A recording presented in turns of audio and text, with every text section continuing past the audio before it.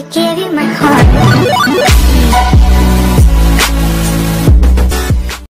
Hello viewers, this is Varna here.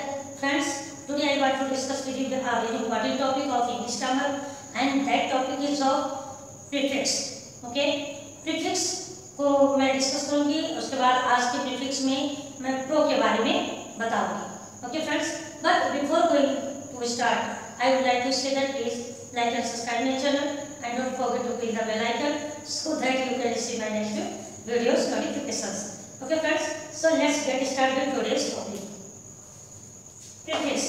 Prefix यानी वो word जो किसी वर्ड के पहले यानी उसके सामने यूज़ करके हम नए वर्ड को फॉर्म करते हैं, उसी को प्रीफिक्स कहते हैं। तो आज के प्रीफिक्स में मैं प्रो को डिस्कस करूँगी। किसको डिस्कस करूँगी फ्रेंड्स प्रो को। ओके दिखाता है, दर्शाता है, या बताता है approving in favour of for forward और पॉजिटिव मीन्स प्रो मीन्स क्या होता है? फॉर द सेक किसी के लिए ओके किसी के फेवर में, किसी को हेल्प करना, आगे बढ़ना फॉरवर्ड होना ओके इस तरह से प्रो को इस सेंस में लिया जाता है। मीन्स प्रो एक पॉजिटिव वर्ड है। क्या है? पॉजिटिव वर्ड है। और पॉजिटिव वर्ड यानी कि जो किसी की हेल्प कर रहा हो किसी के लिए हो, जो फॉरवर्ड हो, जो आगे बढ़ना चाह रहा हो, ऐसे वर्ड्स ओके तब इसके एग्जाम्पल्स हम देखते हैं। प्रोबेबल प्रोबेबल संभवता। प्रो अब इसमें देखिए पी आर ओ है। ओके संभवता जिसे हम बोलते हैं, संभवता ये काम होगा समथिंग लाइकली टू हैपन मतलब कुछ होने वाला है, या किसी के होने की पॉसिबिलिटी है, संभावना है, ज़्यादा से ज़्यादा संभावना है, तब हम वहाँ पर प्रोबेबल की यूज़ करते हैं। नाउ प्रोसीड प्रोसीड मतलब आगे बढ़ना। प्रोसीड आगे बढ़ना। ओके इसमें भी देखिए आपको वर्ड है। टू गो फॉरवर्ड यानी आगे बढ़ो, आगे बढ़ना। एडवांस अग्रिम होना, अग्रसर होना। ओके ऑनवर्ड आगे की तरफ़ या सामने की तरफ़। ओके प्रोसेसन तो इसमें भी देखिए प्रो है प्रोसेसन मींस किसी भी समूह का समुदाय का कम्युनिटी का या कम्युनिटी का जो कि एक होता है ग्रुप होता है, या जिसको आप हिंदी में सुनेंगे जुलूस ओके जो किसी पर्टिकुलर सब्जेक्ट पर्टिकुलर मैटर को डिक्लेयर करने की वजह से मतलब कि लोगों के सामने लाने के लिए, लोगों को बताने के लिए, या लोगों को अवेयर कराने के लिए ये ग्रुप निकलता है एक जगह से from one place to another place ये जाता है तो इसको हम क्या कहते हैं? जुलूस कहते हैं और इंग्लिश में हम क्या कहते हैं?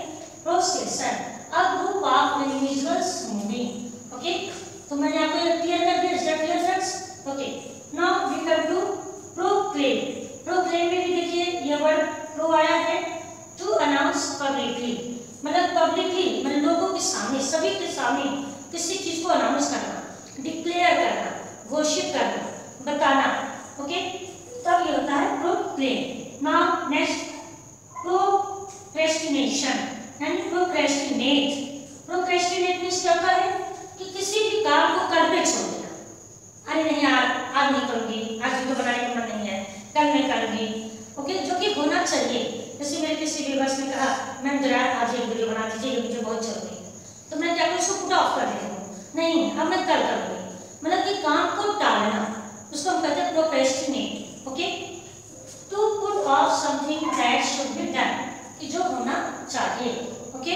नेक्स्ट प्रोक्योर प्रोक्योर में भी देखिए प्रो वर्ड आ रहा है टू ऑपरेट या गेन ओके ऑपरेट मींस पाना गेन मींस पाना उसको प्रोक्योर भी कहते हैं okay now we come to the next and the last in this slide slide का जो लास्ट हमने उसको बता दो पहले टू डिक्लेयर ओपनली किसी भी चीज़ को ओपनली डिक्लेयर करना। बाकी को मैं नेक्स्ट स्लाइड में बता रहा हूँ। Proffer means to offer okay इसमें भी देखिए आप पी आर ओ है। प्रोफिशिएंट प्रोफिशिएंट मीन्स किसी भी काम में परफेक्ट होना। अच्छा होना मतलब अच्छी जानकारी अच्छा नॉलेज होना। Very good at doing something okay next proform proform means having a showing great knowledge means बहुत ज़्यादा नॉलेज होना, या जितना नॉलेज है, उसको हमें दिखाना, प्रदर्शित करना okay next profuse profuse mean very plentiful मतलब बहुत पर्याप्त मात्रा में होना। प्लेंटी मीन्स कोई भी चीज़ है जो हमारी ज़रूरत है, ज़रूरत के अकॉर्डिंगली हमारी नीड्स हमारे रिक्वायरमेंट्स के अकॉर्डिंगली जो एकदम सही है ओके पर्याप्त है एनफ है।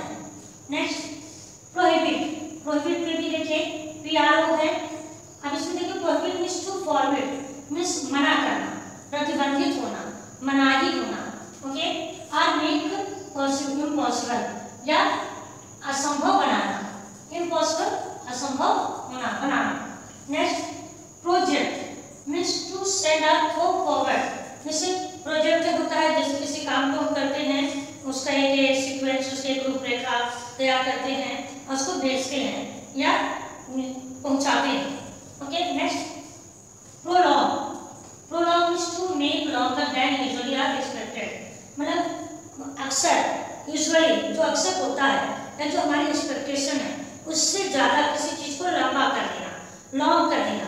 उसको हम क्या कहते हैं? Prolong next promote okay to move up in position मतलब अपने पद में आगे बढ़ना।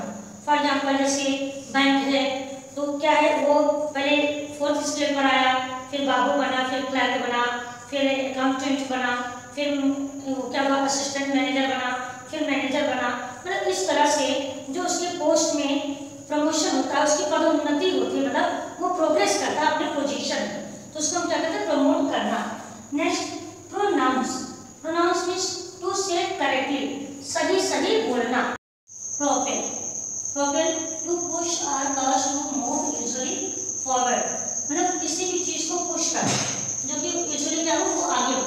फॉरवर्ड ओके नेक्स्ट प्रोपेंसिटी इसमें भी देखिए पी आर ओ है propensity or natural tendency to do मतलब जो नेचुरल यानी कि खुद की आदत होती है, या जो नेचर होता है मीन्स जो हम आर्टिफिशियल ना, बनावटी ना हो कृत्रिम ना तो उसको क्या कहते हैं नेचुरल टेंडेंसी टू डू किसी भी काम करने की जो नेचुरल प्राकृतिक या स्वाभाविक आदत होती है, उसको हम कहते हैं propensity next proportion a balanced और पेजिंग अरेंजमेंट मतलब अच्छा उचित बैलेंस में या प्लेसिंग अरेंजमेंट या सुखद व्यवस्था या अच्छी व्यवस्था कंफर्टेबल जो ओके नेक्स्ट पर्पज इसमें भी देखिए, आप क्या कहते हैं हम्म ये प्रपोज सॉरी इसमें क्या है?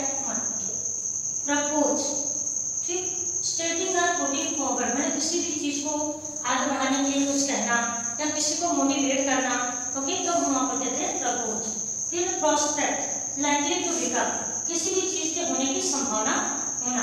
नेक्स्ट प्रोटेस्ट प्रोटेस्ट मतलब किसी भी चीज़ का टू कंप्लेन स्ट्रांगली किसी भी चीज़ की मतलब बहुत जोरदार से विरोध करना, तगड़ा विरोध करना, क्योंकि आक्रामक हो जाना, तब हम वहाँ पर क्या कहते हैं? प्रोटेस्ट फिर प्रोट्रैक्ट प्रोट्रैक्ट में भी आप देखिए ये प्यार आया है टू मेक लॉन्गर मतलब किसी चीज़ को बढ़ाना बड़ा करना उसको विस्तार करना। ओके नेक्स्ट प्रोवोक प्रोवोक में भी देखिए प्यार वो है to cause to become angry मतलब किसी को क्रोध दिलाने के लिए या किसी के क्रोध का कारण बनना, इसको हम क्या कहते हैं? प्रोवोक ओके फ्रेंड तो इस वीडियो के लेक्चर में मैंने आपको प्रेटिक्स या प्रो जो हमारा वर्ड है, आज मैंने इसको बताया है, इसके वर्ष भी बताए हैं, इसकी मीनिंग भी बताई है आपको। अब प्रो का यूज़ क्या होता है, ये सब बताया है। तो friends I hope you have understood this very well and तब तक के लिए आपके बाद आपसे विदा लेती है। Thanks for watching this video जय हिंद, जय भारत।